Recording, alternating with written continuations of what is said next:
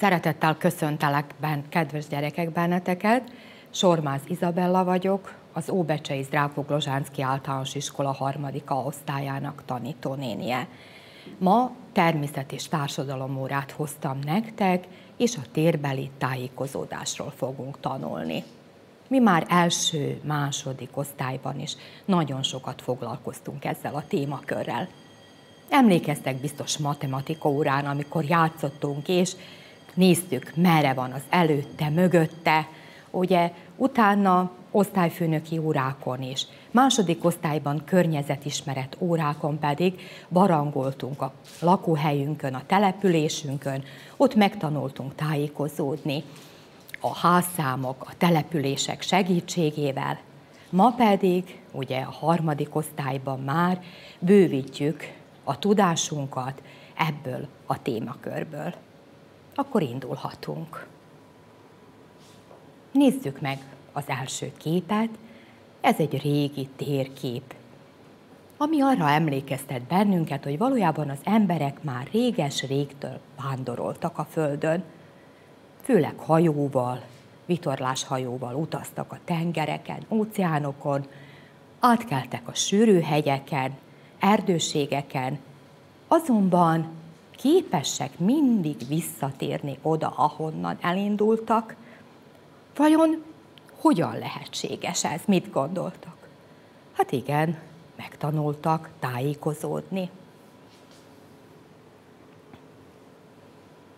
Most pedig megfigyeljük, hogy hogyan lehet a jellegzetes tereptárgyak alapján ezt tenni. Régen az emberek, amíg nem ismerték az iránytőt, akkor a hajósok főleg a part mellett hajóztak, nem merészkedtek ki a nyílt tengerre, azért, mert féltek attól, hogy eltévednek.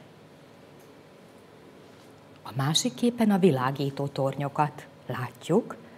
Ez egy erős, fénylő világító torony a tengerekben, óceánokban, egy part, parton, ugye kis szigeten, és ezeknek a fénye jelezte a helyes utat. A templomok magas tornya segítségével is tájékozódtak már régebben az emberek, és most is ezt megtehetjük, de ugyanúgy különféle magas épületek is alkalmasak a térbeli tájékozódásra. Azonban megtörtént az is, hogy hajózás közben mégis nem figyeltek oda, és a hajók a nyílt tengerek felé mentek, és ilyenkor azt tették a hajósok, hogy madarakat engedtek fel a szabadba, és általában a, magyar, a madarak pardon, jelezték a szárazföldnek az irányát. És nézzétek ezt az utolsó képet, melyik mesében van? Igen, a Jancsi és a Juliska című mesében a mézes kalács házikó, és talán nem is olyan meseszerűnek tűnik, ugye, amikor az elszólt magvak mutatták a gyerekeknek a hazafelé vezető utat. Azonban ezek a tájékozódási módok nem mindig nagyon biztonságosak. Tovább kellett fejleszteni a tudományt, hogy még jobban és még pontosabban eljussanak az emberek a kívánt helyre. És ma már nagyon korszerű módon is tudunk tájékozódni. És azt is kérdezték tőlem egy osztályban a gyerekek, hogy minek tanulni mást, mikor már a műholdak segítségével lehetséges ez manapság, a műholdakat még szateliteknek is hívjuk, és egy GPS műszert találtak fel az emberek, ahol a műholdak segítségével pontosan el tud bennünket vezetni az úti célunkig, tehát ez lehet egy ilyen eszköz formájában, azonban a Google Maps alkalmazást le is tölthetjük az okos telefonjainkra, és betápláljuk a pontos úti célunkat, és ezzel, ennek segítségével is el tudunk jutni. Azonban történtek-e veletek is bizonyos furcsaságok, amikor használtátok ezt? Bizony. Ha elmegyünk egy olyan helyre, amit nem fed mobilhálózat, akkor a műhold működése nem megfelelő, ugye, és el is tévedhetünk, mert ott nem tud reagálni ez a műszer, nem vezet bennünket, és az is megtörténhetett, amikor bizonyos útjavítások történnek, főleg én Belgrádban sűrűn elvesztem ezzel a Google Maps alkalmazással. Miért? Nagyon sok egyirányú utca van, több javítás, ezt nem tüntetik fel megfelelő időben, és ha követjük, és csak azt hallgatjuk, akkor mi történhet? El is veszhetünk, tehát igaz, hogy korszerű mód, azonban mégsem a legbiztonságosabb módja ez. Ahhoz, hogy a térben legpontosabban tudjunk tájékozódni, elsősorban meg kell határoznunk a fő és mellékvilágtájakat. Nézzük csak, melyek a fővilágtájak. A nappal állásához viszonyítva ben északot mutatja, lent dél van, jobb oldalt kelet, és bal oldalt nyugat. Ha tudjuk meghatározni, ugye, megtanultuk a négy fővilágtáj nevét, ezzel már második osztályban is foglalkoztunk, akkor nagyon könnyen megtanulhatjuk a mellékvilágtájakat is. Mégpedig hogyan? A fővilágtájak között helyezkednek el annak iránya, a mellékvilágtájat mutatja. Tehát észak és kelet között észak-kelet van. Kelet és dél között dél-kelet található. Dél és nyugat iránya köz, között délnyugat fekszik, és észak és nyugat között pedig észak-nyugat van.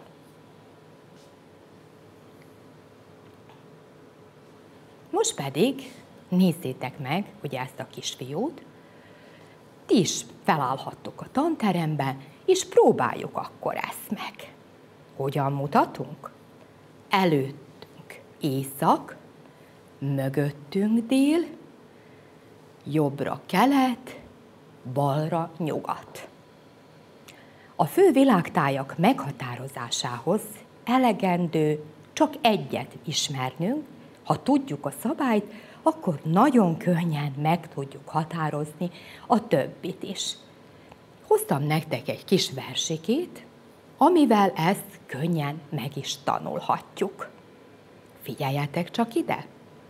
Előttem van észak, hátam mögött dél, balra a nap nyugszik, jobbra a nap kél. Most pedig álljatok ti is fel, és próbáljuk meg. Tehát mutatjuk, előttem van észak, hátam mögött dél, balra a nap nyugszik, fontos jól tudnunk ugye a kezeinket, balra a nap nyugszik, és jobbra a nap kél. És ha tudjuk ezt a kis versikét, már is tudjuk a fővilágtájakat, a fővilágtájak között vannak a mellékvilágtájak, és már nagyon-nagyon sok mindent tudunk ahhoz, hogy bátrabban meginduljunk, és keressük azt, ahova indultunk.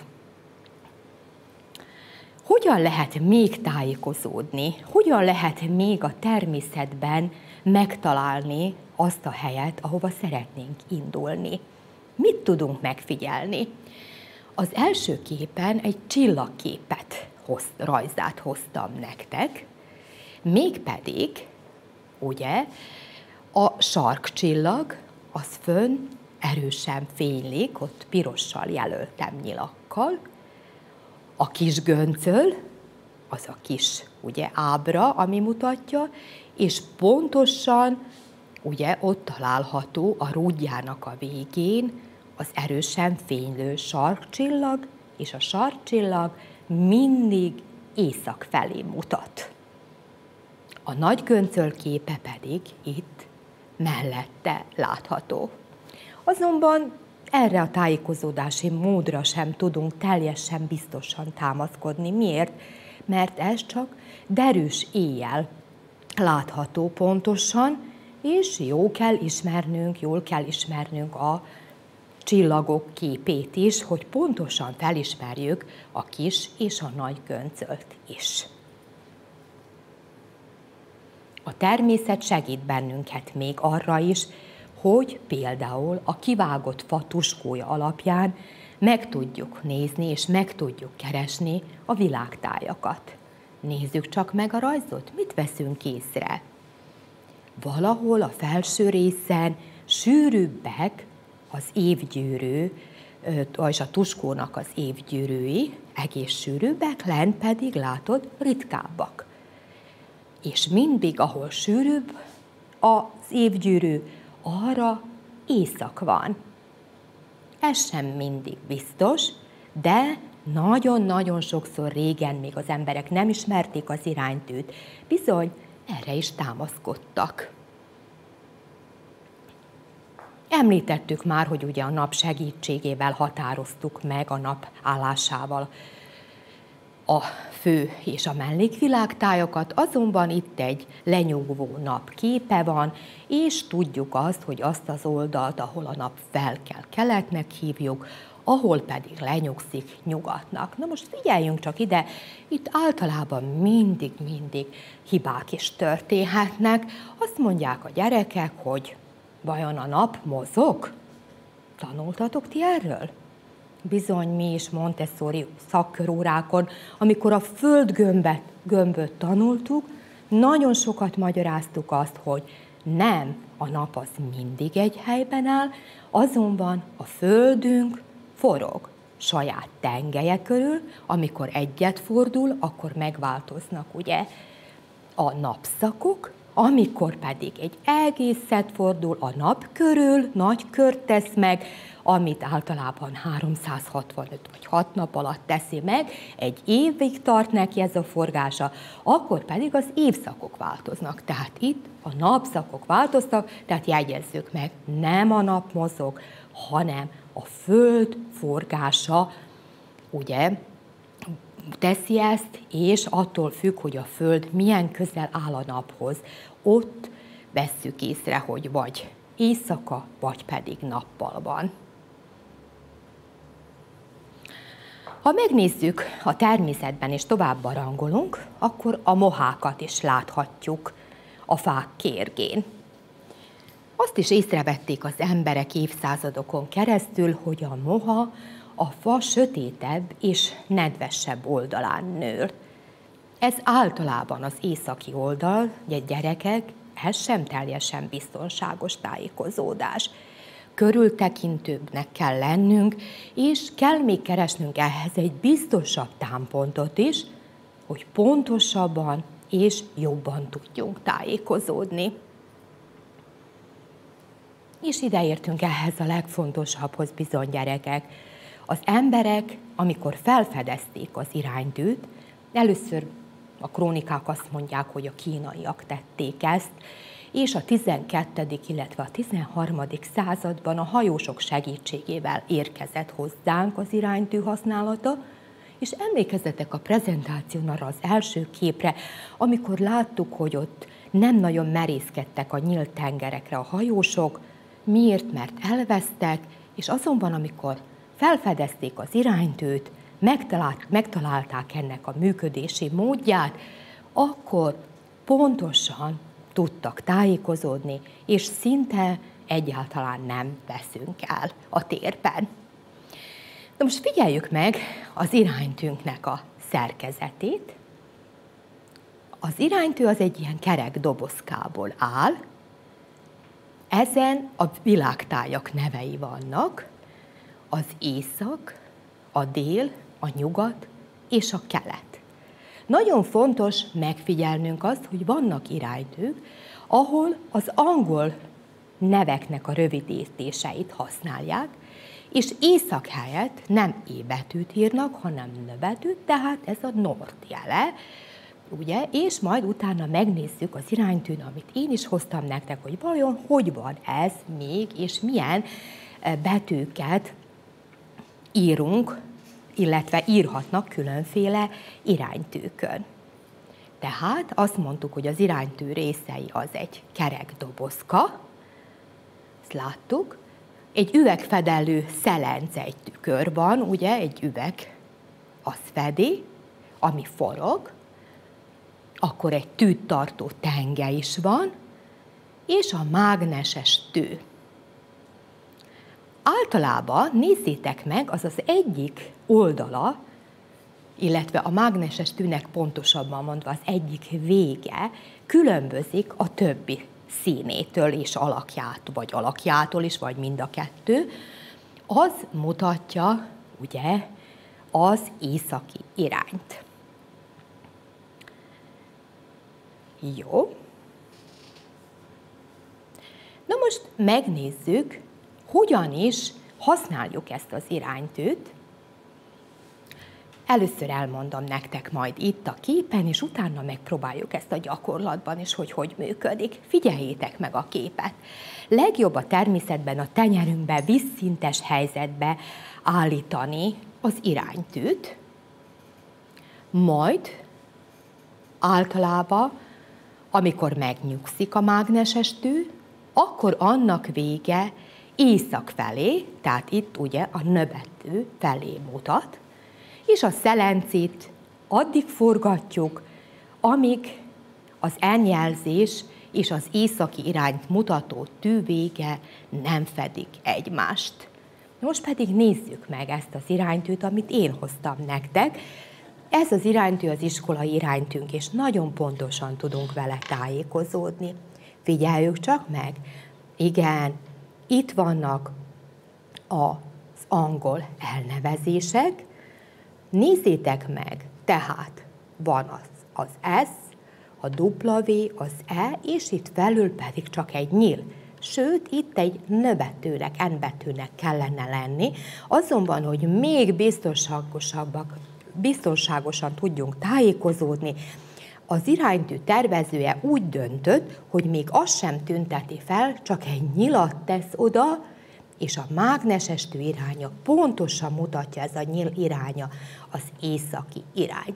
Ha tudjuk, hogy fenn mit mondtunk, észak van, akkor mondjuk csak a versikét előttem van észak, hátam mögött dél, jobbra a nap, balra a nap nyugszik, jobbra a nap kél.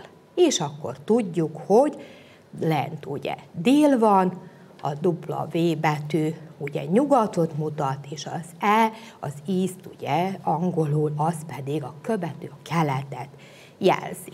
Tehát ugye megfigyeljük azt, hogy nagyon fontos, hogy vízszintesen tartjuk ezt, forgathatjuk a szelencét, ugye, amíg pontosan nem fedi, de ő annyira, annyira biztonságos kis eszköz, hogy pontosan beállt és éjszakot mutatja nekünk. Remélem, hogy ezt jól megértettétek, és akkor figyeljetek csak ide, én a tanulóknak mindig azt mondom, hogy nagyon fontos egy leckét jól megjegyeznünk, minek segítségével. Egy olyan tanulási módszer segítségével, amit elmetérképnek hívunk. Használjátok ti az elmetérkép tanulási technikát? Nézzétek csak meg. Tehát az elmetérkép az egy rajz, ahol feltüntetjük a lecke, a tananyagnak a legfontosabb részét, mindig a közepére írjuk fel, vázoljuk fel, ugye, a kiinduló témánkat, és abból nyilakkal ágaznak majd ki a kisebb e, egységek, illetve a részek. Akkor ismételjük csak át, miről is tanultunk a mai órán. Tájékozódás a térben, ugye? Ezt írtuk, hogyan tájékozhat, tájékozódhatunk a térben. Először is a tanultuk a jellegzetes tereptárgyakat, úgy van, amíg nem volt iránytű, nem ismerték az emberek az iránytűt, és itt bizony a jellegzetes tereptárgyak alapján el is tévedhettek az emberek. Azonban manapság már a korszerű tájékozódási eszközt is feltalálták a GPS rendszert, azt is feltüntettük, ha bármit mondtunk róla, Igen, azt, hogy nem biztos mindig, és nem támaszkodhatunk csak erre az eszközünkre, mert sűrűn eltévedhetünk. Ahhoz, hogy jól tájékozódjunk, itt a következő nyíl, a fővilágtájakat kellett elsajátítanunk. A fővilágtájakat, ugye, itt vannak az észak, dél, a kelet és a nyugat, ugye, és hogyan tájékozódhatunk még? A, hogyan határozhatjuk meg még a fővilágtájakat? A napállása segítségével, a sarkcsillaggal, ugye a csillagképekkel, a moha segítségével, az évgyűrűkkel és a kivágott fa törzsén. Azonban az iránytű a legbiztonságosabb tájékozódási, térbeli tájékozódási eszközünk, és hogy miből áll, tehát itt van a szerkezete, egy kerek doboz, üvegfedelő szelence, ugye, ahol látjuk a fő világtájakat is, és hogyan használjuk, nagyon fontos, vízszintes helyzetbe hozni a tenyerünkön, és amikor teljesen megnyugszik a nyíl, akkor mutatja a fő világtájakat. A felső sarokba pedig oda tettem azt a képet is nektek, hogy emlékeztessen benneteket a fő és mellékvilágtájakra. Azt ajánlom, hogy ezt a rajzot, vagy ti, ahogy látjátok ezt a leckét, rajzoljátok is fel, ábra, hogy minél jobban megtanuljátok. Remélem, hogy sokat megtanultunk, jól is éreztétek magatokat ezen az órán, további jó kutatást, tanulást kívánok, és köszönöm a figyelmeteket.